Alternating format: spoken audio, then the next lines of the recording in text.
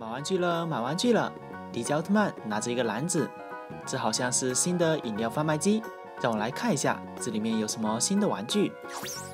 迪迦奥特曼把硬币投入到贩卖机里，他选择了第三个按钮。哇哦，掉出来了一个红色的奇趣蛋。这里面会有什么惊喜玩具呢？原来是两个迷你的奥特曼人偶。哇，这两个是哪两个奥特曼呢？它们还可以插在手指上，就像这样子，看起来是不是很好玩呢？让我们把它插到迪迦奥特曼的手上。贩卖机还掉出来了两个奥特胶囊，这是哪两个奥特曼呢？他们的身上有圆环，这应该是欧布奥特曼。左边发出的是白光，右边发出的是蓝色的光。那你们知道这是哪两个奥特曼吗？迪迦奥特曼买到了好多新的玩具，他好开心啊！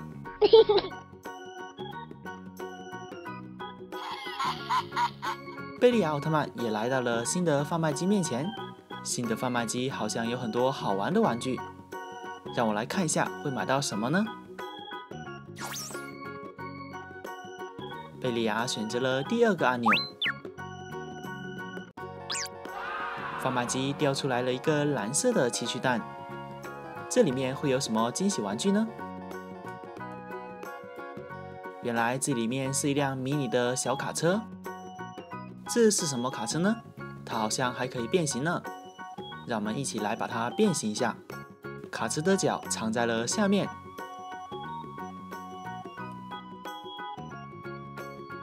然后后面烟囱的部分好像可以张开。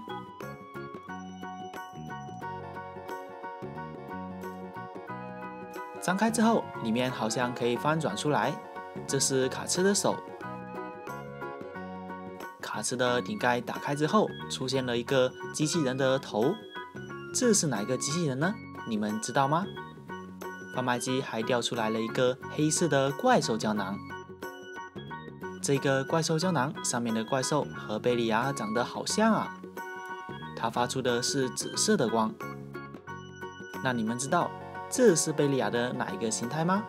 贝利亚买到了一辆可以变成机器人的卡车，还有一个怪兽胶囊，他也开开心心的离开了。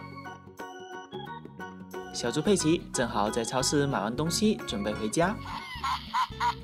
这时候贝利亚跳了出来：“我这里有好多好玩的玩具，我们一起玩吧。”佩奇想到妈妈说不要和陌生人一起玩，然后就离开了。佩奇正准备回家呢，这时候贝利亚又跳了出来。佩奇还是没有理贝利亚，他准备离开。可是这一次，贝利亚没有放走小猪佩奇，他把小猪佩奇打飞了。他要来做什么呢？佩奇被打伤了，他一个劲的哭啊哭。听到了救命声，迪迦奥特曼飞了过来。佩奇，发生了什么事情？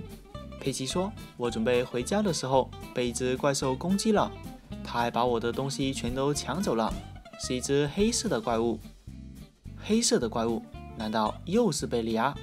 放心吧，我会把你的东西抢回来的。”贝利亚正在偷吃抢到的食物。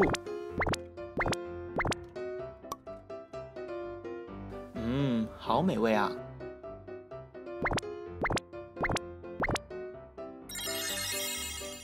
可恶的贝利亚，又是你抢走了小猪佩奇的东西！你来的太晚了，东西都被我吃完了。什么？你居然把东西都吃完了？可恶！看我来把你打倒！这可怎么办呢？东西都被贝利亚吃完了。迪迦奥特曼，你是打不败我的，我有秘密武器。看我的，这就是我的秘密武器。看我的，召唤凯撒贝利亚。贝利亚又来做什么呢？他把蓝色的小卡车放到变形蛋里面。转化终于完成了，看我的黑化擎天柱，这不是一辆大卡车吗？哈哈，你想用大卡车对付我吗？这可不是一辆普通的大卡车，看我的大卡车变形，大卡车变成了擎天柱机器人。原来这就是贝利亚的秘密武器。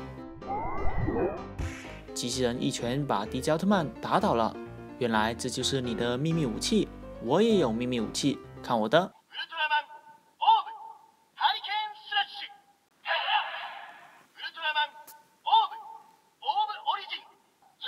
迪迦奥特曼用奥特胶囊召唤出了两位欧布奥特曼。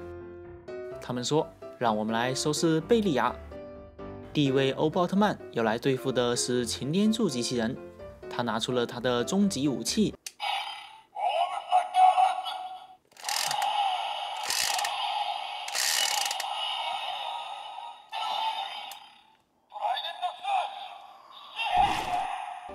擎天柱机器人被打倒了。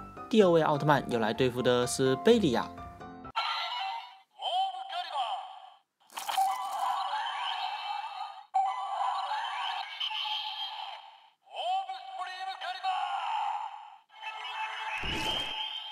终于，贝利亚和黑化的擎天柱被两位欧布奥特曼用终极武器打败了。可是小猪佩奇的食物被吃完了，怎么办呢？哎，我有办法了。让我借用奥特之王的力量把他们恢复吧！看我的，奥特之王！哇哦，太棒了，食物都恢复了。小猪佩奇，你的食物我都帮你抢回来了。贝利亚被我打败了，你以后可以放心。谢谢迪迦特曼，这里有个火腿，请你吃吧。